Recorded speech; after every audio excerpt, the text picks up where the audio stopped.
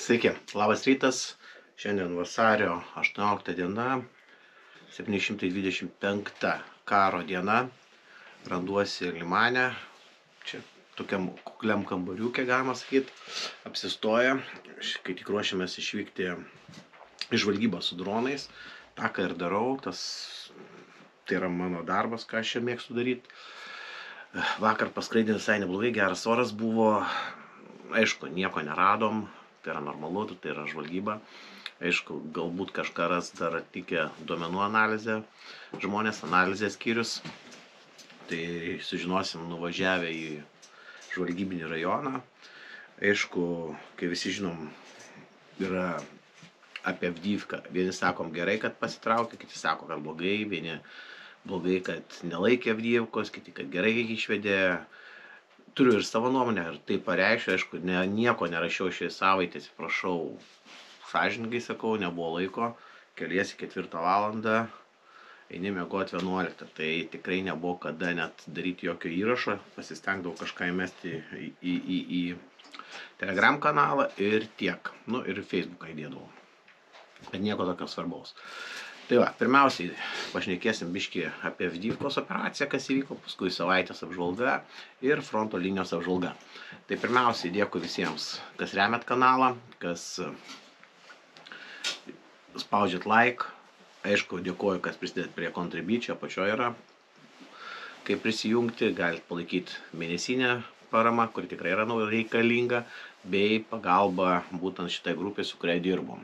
Ten tikrai reikalinga pagalba. Per praeitą savaitę nuėjo du automobiliai, remontas brangus. Nesakom, kad automobilius sunaikinti, jie tiesiog lūšta tokiais keliais, kokiais važinėjom tenai. Tikrai maksimum savaitę laiko ir vėl į servisą važiuoji.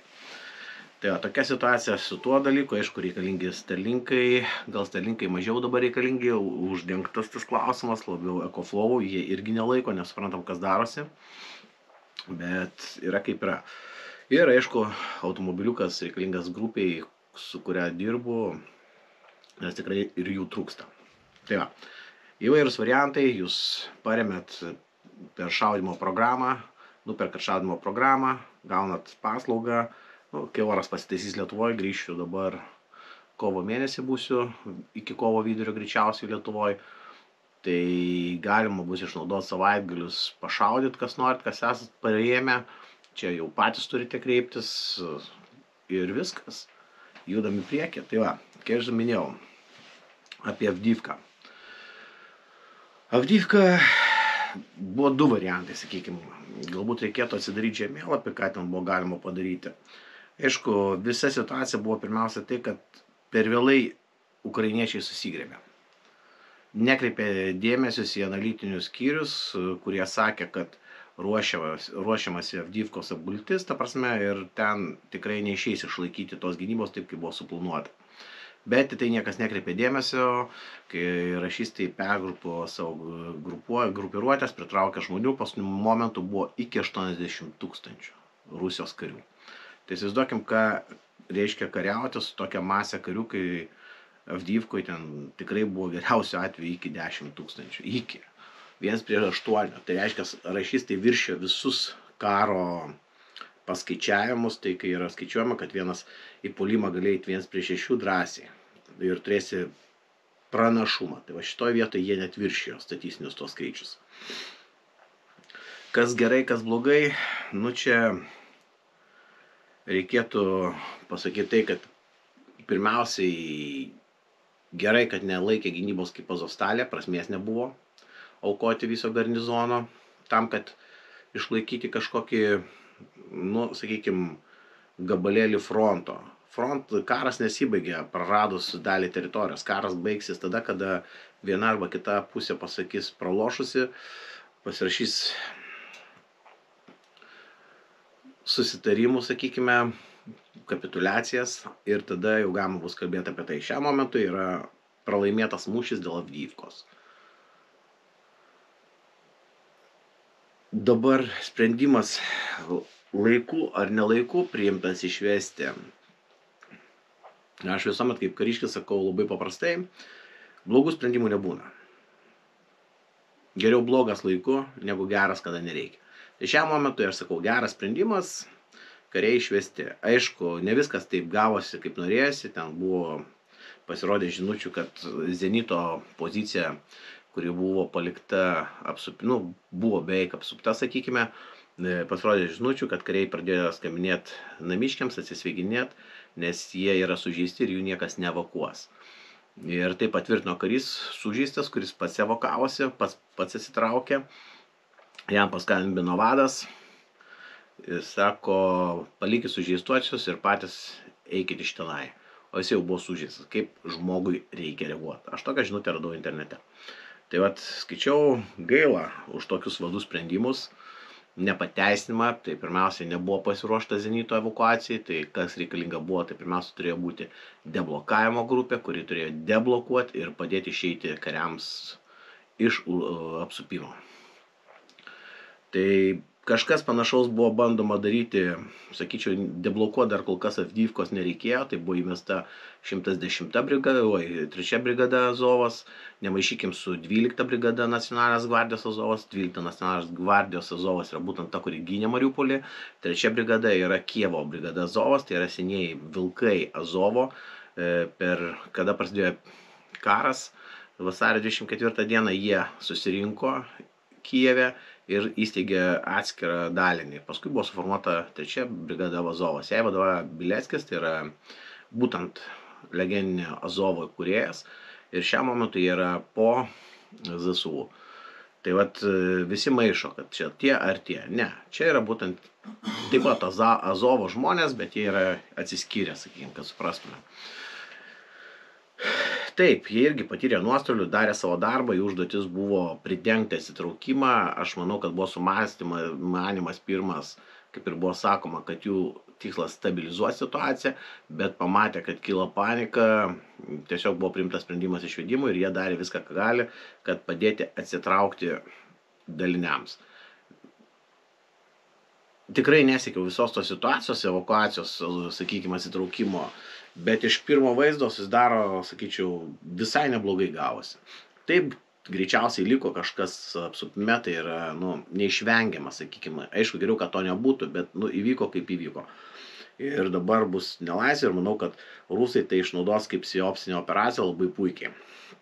Tai šitą vietą bus tikrai labai negraži, bet teko atsitraukti. Ten laikyti tų pozicijų aš kol kas nemačiau galimybės o su kuo mes kalbėjom, tik tai buvo kitas variantas galimas buvo, tai tą patį Razovo vado pavaduotojas mm, sakė, būtent yra kažkur, gali pažiūrėti susiausiuose tinkluose, kad reikėjo daryti kapoti per flangus. Tai reiškia, iš Avdyvkos kelias yra į užmirštų tą gyvenvietę tai va tuo keliu iš vienos ir kitos pusės reikėjo daryti prasiveržimus tai turėjo kai buvo šimtas dešimta brigada įmesti galbūt azovui čia ir iš viršaus dary atkirtimą daryt tai būtų buvę savo laiku padaryta tokia operacija manau kad jinai būtų buvusi sėkminga ir atvirkštinė reakcija galėjo būti. Bet dabar yra lengva kalbėti, sprendimas priimtas, nereikia kritikuoti, sprendimas priimtas, darbas padarytas, kariai išvesti, užimamos naujos gynybinės linijos. Tai yra svarbiausiai. E, kelias e, taip buvo kontroliuojamas rašystų apšaudomas, bet jie turėjo ten atsarginį kelią, kaip visada nėra vienas kelias, jis nebuvo toks geras, koks buvo šitas. Aišku, dabar atsitraukimui labai gerai takojo orai, e, sakykime, keletą dienų naktimis temperatūra krenta iki minus 8-10, tai žemė buvo sutraukta, nebuvo tos pelkės. Tikrai tai padeda, aš matau pats, čia, kaip čia atrodo, pats važinėjau Limano kryptyje, skraidom, Tai už tai dėl to galiu kalbėti drąsiai. Gerai, manau, kad e, galim judėti link žemėlapio, kaip tik atsidaręs Sinkivką, nuo kurios aš visuomet mėgstu pradėti apžvalgą. Jeigu taip žiūrint į Sinkivką, ką mes čia dabar turim, tai rašystai kaip ir dabar bando vis dėlto čia daryti prasidiržimą Kupensko kryptimi, tai jų tikslas yra ašis Kupenskas pirmiausiai turėtų išeiti į Pietropavlivką ir toliau į Kupianską. Bet kol kas čia pokyčių nėra. E, kryptis išlieka kaip ir praeitą savaitę, stačia galva frontinė kryptis į Sinkivką ir bandoma apeiti ją iš pietų pusės. turbūt sudėtingesnė situacija yra Kislyvkos kryptyje, aš kaip sakyčiau, Tabaevka, Kislyvka, bet čia kol kas ukrainiečiai puikiai, būtent Tabaevkoje puikiai stabilizavo situaciją ir kontratakavo bei perėmė keletą pozicijų. Jeigu mes kalbam Kislyvkos kryptyje, tai čia yra situacija tokia, kad e, telkiamos pajėgos, aišku, ir jų tikslas yra išeiti lygiai taip pat į Pišenę, į kelią Svatovas Kupenskas ir Pišenė kryptis bei Kupenskas. Antroji kryptis greičiausiai apjungti šitas dvi pajėgas grupuotės e, Tabaevkos ir e, Kislyvkos ir greičiausiai išeiti į šitą perėją. Čia suvažiavęs, ten yra tiltas, bet toks, nu, prieš ger, ger, gerus du mėnesius, tiksliau važiavęs, dabar nežinau, kas ten yra. Tai va, tai yra toks vien, viena iš teorijų, kur gali judėti, tai yra link Petropavlikos ir apjungti Sinkivkos kompaniją arba judėti link čia. E, jeigu Sinkivka išjuda link e, Petropavlikos, šitie išjuda čia, praktiškai gaunasi, kad šitoje vietoje vėl daliniai turės greituoju būdu trauktis, nes apsunkėja aprūpinimas. Čia yra didžiausia problema. Žiūrėsim, kai viskas kur judės, bet kol kas situacija tokia. Jeigu judant toliau mes turime kitą karštą tašką, tai aš sakyčiau visą liniją. Linija nuo Makyvkos, va čia buvo skraidyta, tikrai vakar skaitėm, tikrai nematėm daug, kad būtų ten didelė grupiruotė, nu ir savam ruožė, tiksliau atsakingam skraidimo, iki praktiškai Belhyrovkos. Tai yra va šitą liniją 38 km šiai dienai yra labai aktyvi, tas aktyvi tai, kad bandoma išeiti į, norim, nenorim, tikslas yra išeiti į Torskę, Terny, Nevskė ir greičiausiai uždaryti o tai va. Visą šitą rajoną padaryti atkirtimą šito rajono. Bet dabar didžiausias Makyvkoj kryptyje yra būtent dešinysis flangas, čia didžiausia problema. Toliau mes turim didžiausias kovas, tai būtent Terni, Jampolivka, Torskė kryptyje. Čia bandoma judėti link šitų užtvankų, bet kol kas pažangos nėra, viskas yra savoj, savose teritorijose. Labai puikiai gerai dabar galiu pasakyti tai, kad aš esu Limane, tai čia Limanas yra va čia, nakvojo, nepaslaptis. O mūšiai vyksta Dobrova, tai va čia sidabrinis miškas. Čia kur kapojasi 12 nacionalinė gvardija, kai tik čia netoli jų ir esu. Tai va šitoje vietoje, galiu pasakyti, naktimis įdomi situacija, niekas beveik nešaudo, galbūt reguliariai valandą laiko po du šūvius, artilerinius apsikeičia ir tuo viskas baigės. Dieną prasideda rimtesnės atakos, tai yra artileriniai dueliai, dvi dienas tikrai negirdėjau, kad būtų automatinės ugnies pėsnikų mūšiai, daugiau artileriniai vyko dueliai, e, kai atvykau vyko ir pėsninkų mūšiai, bet situacija nieko nepasikeitusi. Tai čia, galima sakyti, situacija stabili. E, jeigu imkim Bachmuto kryptį, tai šiai dienai po Avdyvkos greičiausiai bus mestos pajėgos būtent šitoje vietoje. E, Grigorivka, Kalinivka, Ivanivska ir tikslas išeiti į Česov Jar šitoje vietoje. Čia yra pagrindinis dabartinis rašystų tikslas Ir į čia greičiausiai bus daroma tam, kad išeiti toliau į Konstantinivką, tai yra būtent į čia. Ir, nes kadangi čia yra geras logistinis kelias, kai matot, galima čia daryti tiekimą, iš čia ateina iš gilumos, iš čia ateina, visur tu gali išsivežioti. Tai va šitą Konstantinovką greičiausiai bus atakuojama. Aišku, tada apsunkės logistika, bet tai nebus katastrofa. Bet čia yra rašystų tikslas. Ir toliau judant žemyn, Klišijevka išlieka stabili situacija, niekas nepasikeitė. Jeigu dar žemiau, tai mes turėsime būtent Avdyvką, kur matom jau žemėlapį pasikeitusi situaciją, ukrainiečiai atsitraukia ir dalis jau Koksochimo gamyklos irgi yra užimta. Greičiausiai antra linija bus dėstoma, ta prasme, nuo Karlivkos, bent jau jų analitikai, ką rašo, tai yra nuo Karlivkos kažkur Očeretnėje arba gali būti progres va šitoje vietoje. Ir tokiu būdu bandys e, stabdyti, čia yra galinė gynybinė linija šito rajono. Aišku, niekas neleis dabar lengvai jam iki čia papult, bet mūšiai vyks vat, šitam, galima pasakyti, rajone dėl Avijivkos. Žiūrėsim, kaip jiems seksis. Šiam momentui situacija nėra tragiška, problema yra tame, kad trūksta šaudmenų, tai ne vienas patvirtino, kai kas turi visišką šaudmenų badą, neturi šaudmenų, tas, kas turi 8 šaudmenys ant vamzdžio per parą, sako, wow, kaip gerai. Tik man kilo klausimas, kur iš uh, ganytieji dronai, nes čia kai visi sakė, kad dronai yra kažkas tai tokio, kurie wow, padaro savo darbą, šiam momentui aš nematau to dronų rezultato. Artilerijos nėra, dronai nieko nepadarė. Kaip matom situaciją, be artilerijos raketinių padalinių nieko nepadarysim. Aviacija būtų dar geriau. Bet šiam momentui, vat, būtent tai, ką aš norėjau visuomet sakiau, kad dronai yra tik papildoma priemonė. Tai dar kartą įrodo būtent šitą situaciją. Taip, jie padarė rezultatą, bet ne tokį, kokį čia visi mes tikėjomės, tiksliau jūs tikėjotės, aš nesitikėjau. Ir aš, kai sakau, dar kartą įrodyta, kad dronai tai yra tik papildoma priemonė. Tas pats, kas RPG granatsaitis turbūt pas mane gra... kuprinikai, sakau, arba už nugaros būtų. Tai va tokia situacija čia. Na. Galbūt sakysite, aš neteisus, bet galit patys panalizuoti, kad didžioji dauguma dronų vaizdų užfilmuotų yra tik daryta tam, kad padaryti gražų video. Daugiau nieko ir tai, kad pritraukti rėmėjus. Taip, jie medžioja, padeda, bet nepadaro, nekeičia taktinės situacijos. Tai dar kartą įrodyta būtent Avdyvkos operacija.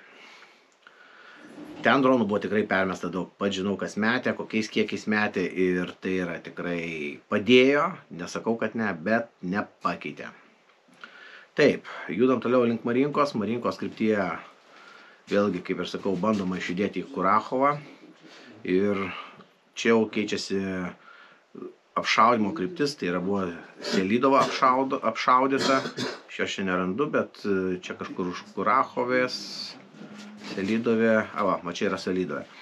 Aš kai atvažinėjau, čia buvo tą patį rytą apšaudyta naktį Selydovė, tai yra tikrai tragedija. Pataikyti į ligonę, pataikyti į gyvenamus namus, bet visą laimę, kad buvo šalta naktį pagal protokolą kažkodėl, jeigu būtų palaukę ryto ir, sakykime, raketa nukritusi 200 metrų, kur pataikė namus, tai mes turėtume tikrai žymiai didesnį aukų skaičių ir tai būtų tragedija, nes būtų pataikyta ten, kur ryte daug žmonių būna.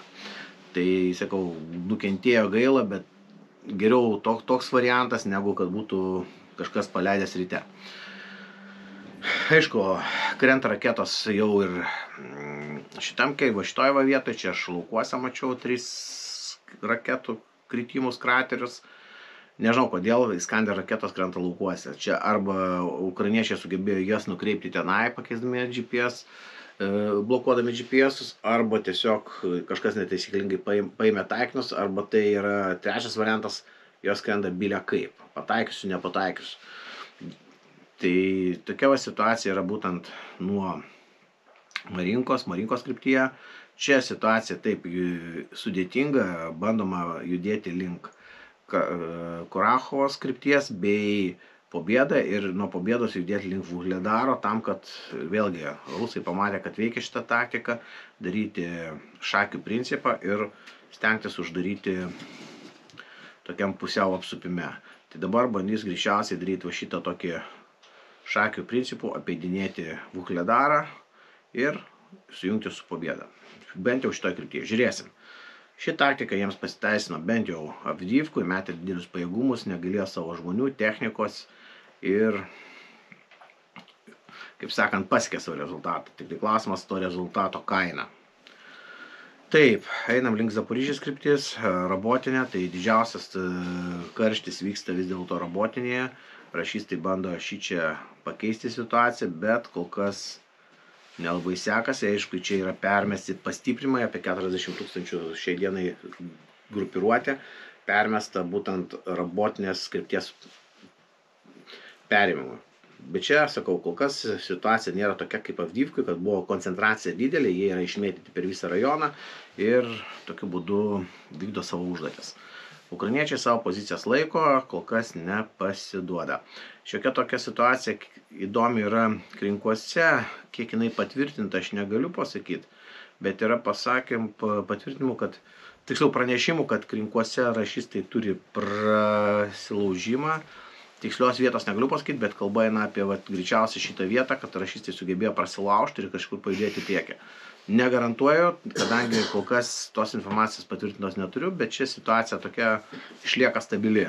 Ukrainiečiai gynybiniai užėmė gynybą puikiai ir priešą naikina tiek artilerijos pagalba ir dronų pagalba. Aišku, artilerija baigėsi, ne paslaptis, bet čekai rado tos resursus. Aišku, tų resursų buvo. Aš turbūt 22 metais buvau sutikęs su vienais oficialiais ginklų prekeiviais. Lenkijoje yra jų ofisas. Jie tada jau pardavinėjo 150 metrus. Jeigu norit, pirkit, sako, kaip bus pinigų, galite pirkti drąsiai. Mes žinom, kur gauti. Greičiausiai tai ir buvo čekas nes kadangi buvo 152, 122, tai atitinka tai, ką dabar Čekijos prezidentas greičiausiai perduos Ukrainai nemokamai arba iš savo renų, tas nemokamai vis tiek sumokės kažkas tai. Tai va, tokia situacija. Aišku, rašystų tikslas dabar yra būtent krink Dniepro salos, tai čia nai meta visas pajėgas, kad išvalyti salas. Tai žiūrėsim, ka, kuo tai visa baigsis, bet čia ukrainiečiai puikiai dirba būtent tuose saluose ir jam priešui neleidžia lengvai judėti taip, kaip priešas norėtų. O dabar dar kartą primenu, nepamirškite remt kanalo, prisidėti taip, kaip galite, spaust like, jeigu norit paremti finansiškai, prisidėti prie mėnesinės e, paramos, tai yra tikrai kanalo išlaikymui, kas tikrai reikalinga, bei prie paramos kariams. Nuperdami šaudimo programą mes už tos pinigus perkam automobilį ir padedam kariams. Tai dabar galbūt einu prie savaitės apžvalgos, reikia čia pasižymės, esu, aišku, e, situacija, kai visada išlieka aktyvi būtent Donetsko Hersono kryptyje pagrindinės atakos. Aišku, negalima ir Harkovo krypties palikti, bet e, didžiausi mūšiai buvo, buvo, jau sakau, Donetsko kryptyje, tai ten buvo sutelkta tikrai didelė grupiruotė ir šitoj vietoj kol kas niekas e, daug nepasikeitė, išskyrus prarasta Avdyvka, tai yra prarastos taktinis pranašumas, vartai į Donetską, kaip sakoma, Aišku, vėlgi, vartai Donetską, mes sakysim, galima apeiti per kitur. Čia yra toks lengvesnis praėjimas buvo į Donetską. Iš tikrųjų, ten, jeigu buvo, būtų savo laikus smogę į Donetską, tai aš manau, kad būtų įėję į Donetską ir būtų situacija kitaip atrodžiusi. Bet turim, ką turim šiai dienai, matom tokia kokia yra situacija. Aišku, Avdyvką išlaikyti buvo sudėtinga. Per 10 dienų, per savaitę, tiksliau net ne 10 dienų, tai aš susitikęs buvau su analizės, analitiniu skyrium, čia, kur yra netoli uh, Bahmuto, galima sakyti, kryptyje. Tai pasakė tai, per savaitę buvo virš 600 kabų numesta ant Avdyvkos. Tai įsivaizduokim, koks kiekis sprogmenų buvo Avdyvkai. Tai ten praktiškai buvo viskas lyginama su žeme. Ta prasme, jeigu yra pozicijos, jos yra sudraskomos, jeigu yra blindažai, priedangos sudraskomas, jeigu yra namas, jis yra greunamas. Tai situacija buvo tikrai tragiška. Ir todėl, kad sprendimas blogas, aš labai su tuo pabejočiau. Jeigu Zaporižės kryptimi pagrindiniai mūšiai vyko, kaip ir sakiau, prie Verbovojos ir Abotinos, šioje kryptyje padaugėjo rusų kariuomenės grupuočių, tai gali būti manevras, kuriuo siekiama buvo tam, kad uh, ukrainiečiai nepermestų savo pajėgų kaip pastiprinimo į Avdyvkos kryptį. Dabar žiūrėsim, kokį, į ką viską tai rutuliosis. Uh, Harkovo ir Luhansko kryptimis vyksta vietiniai mūšiai, Ukrainos ginkluotas pajėgos kontratakuoja netoli Tabajevkos. Rusai neatsisakė savo keitimų pasiekti Oskilą, tačiau vyksta rezervų perkelimas link Avdyvkos, kur suteltos pagrindinės rusų pajėgos. Tai va čia, ką norėjau pasakyti, jau dabar nevyksta, vyko, nes e, greičiausiai Luhansko kryptis yra išlaikoma kaip hubas, o ne kaip e, e, grupuotės, grupiruotės sutelkimas ir kažkokiu rezultato pasiekimas Kupensko Kupan, Kupensko Limano kryptyje. Bet, sakau, čia kol kas buvo tokia situacija iki penktadienio, dabar žiūrėsim, manau, kad savaitės dviejų bėgiai išaiškės aiškios naujos rašystų smūgio kryptis ir žiūrėsim, seksim situaciją ir lauksim aprūpinimo. Tikrai reikia, tikrai reikia, reikia spausti vyriausybės, reikia spausti, kad duotų ginkluotės, nes jos tikrai trūksta. Tikriau šaudmenų, ne ginkluotės, ginkluotės yra daug matau ir mūsų M113 važinėjančius, matau britiškus automobiliukus, nu, tarsi daug technikos čia matau. Smagu yra žiūrėti, kai matai ne tą sulūžusią matalygą, kaip jie sako, važiuojam 113, nors sako, M113 prašiau pasirodė, jos pravažumas jiems netenkina, bet čia, kai sakau, turbūt problema yra tarpinės ir tarp, tarp vairo ir tarpinės problema, tarp pedalų ir vairo tarpinės problema. Taip, Hersono kryptimi padėtis iš esmės nepasikeitė, Rusijos vieš šosio informaciniai viešieji šaltiniai praneša apie Ukrainos ginkluotojų pajėgų panaudojamą FP dronų suaktyvėjimą. Ukrainos kariuomenė vis dar laiko priešakinį plasdarmą krinkuose masiniai artilerijos smūgiai į Rusijos poziciją, kurios patiria papildomų nuostolių dėl Ukrainos ginkluotojų pajėgų vykdomo nuotolinio minavimo. Visi minuojasi, visi ruošiasi gynybai, bet situacija, sakau, kol kas nesikeis tol, kol nekeis uh, savo taktikos patys ukrainiečiai, nes ukrainiečiai turi keisti taktiką, keisti vadovavimo principus, tai praktiškai atly, at, at, naujas vadas turėtų atlikti, dar kartą kartojo, kariuomenės reformą. Taip, jie kariai yra superiniai, aš neslėpiu, nebijo mirti, stovi poziciją iki paskutinio. Bet suprasit, kas vis, viskas, kaip viskas atrodo. O visa kita tai yra, sakau, frontas juda, į priekį priešas yra naikinamas ir manau, kad viskas čia bus gerai. Aišku, reikės laiko. Amerikiečiai kol kas negalės padėti artimiausių laikų, tai visa parama teks ant Europos, kad išlaikytų stabilę situaciją Europai. Taip, mes gyvename gerai, sutinku, yra komfortas, yra malonu, bet geras gyvenimas silpnina žmonės. Stipri, stiprų žmonės daro stiprias valstybės, bet silpnus gyventojus. Tai va, kad nebūtume silpni, reikia kovot ir eiti priekį. Tokia biški moralė mano, kaip sakant, bandau pamoralizuoti, tai padėkit frontui daiktais, pinigais ir iki sekančio. Nepamirškit remti ir mano kanalą. Dėkui jums visiems, iki sekančio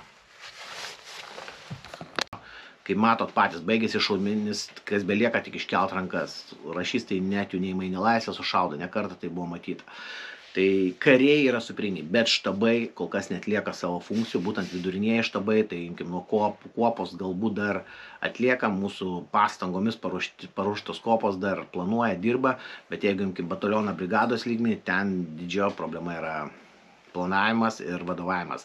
Nes daugeliu atvejų vadas bataliono vadas perima visą valdymą ant savęs tai yra kaip diktatorius tiesioginį valdymą nepasiskirsto nedeleguoja užduočių ir dėl to mes turime daug daug problemų Vasario 14 dieną gynybos ministerija jos GUR kartu su Ukrainos karinės pajėgomis nuskandino Rusijos laivą Cezaris Kunikovas. Čia buvo superinis reikalas, naudodama Magūrą 5 dronus.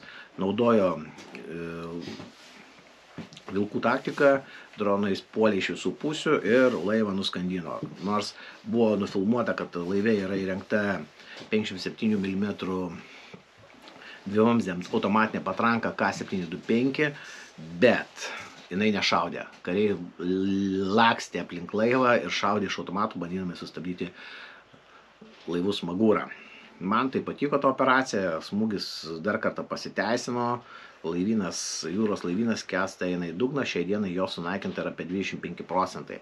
Tai yra laiko klausimas, kada bus visiškai sunaikinta juodosios jūro laivynas. Taip, trumpa, galima sakyti tai, kad ta pati taktika buvo panaudota ir sausio 31, nuskandinus Donzlavo ežere Kryme, būtent lygiai taip pat laivą.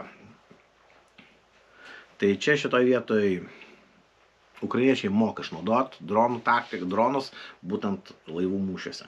Santraukai desantis laivas Cezaris Kunikovas sunaikintas, sunaikinimas sutapo su 19 kontaktinės grupės susitikimu Ramšteino formate. kuriame buvo paskelbta apie drono armijos sukūrimą Ukrainoje.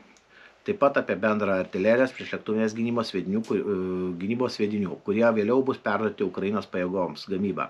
Rusija pralaimėjo mūšį dėl Juodosios jūros, Rusijos Juodosios jūros laivyno likučiai atsidūrė spasuose pagal Montres konvenciją. Turkija neįleidžia ir neišleidžia karo laivų per Bosforo Dardanų sąsiaurius. Kaip nurodyta ankstesniuose pranešimuose, Rusijos Juodosios jūros laivynas turi būti visiškai sunaikintas. Čia tokia ukrainiečių yra vizija ir manau, kad ją pasieks. Rusija negalės siūsti pastiprinimo, jau nekalbant apie naujų desantinių laivų statybą. Iš jų penki jau nuskendė. Jei Rusijos pajėgos, e, ginkluotosios pajėgos pralaimės jūroje ir ore, tai bus nebejotinas strateginis pralaimėjimas Kremliui, kurio kariuomenė be oro priedangos ir be laivyno praras didelę dalį savo kovinio pajėgumo ir bus pasmerkta lietai degraduoti. Sunaikinti Rusijos ginkluotojų pajėgų technologinį potencialą, padarant neprimtinų nuostolių, kurių šio laikinių Kinė Rusija nebegali greitai pakeisti. Turėtų būti pagrindinis Ukrainos ir vakarų tikslas. Tai va šitoje vietoje turėtume stengtis tai, kad Rusija negautų naujų technologijų, naudotų savo senas ir negalė, neturėtų pranašumą. Aišku, čia yra tikslas. Ir jeigu pasieks šituos dalykus Ukrainos pajėgos sunaikinamos jūros, jūrų ir oro pajėgas, manau, toliau beliks tik antžeminė operacija, kuriai puikiai pagelbės F-116, kurie yra jau pakeliui, geri atsiliepimai iš ukrainiečių pilotų yra, jie nustebė, ką jie gali padaryti. Žiūrėsim, viskas, dėkui Jums, varau renktis, važiuodamas bandysiu Jums sumontuoti šitą video ir atsiųsti į YouTube.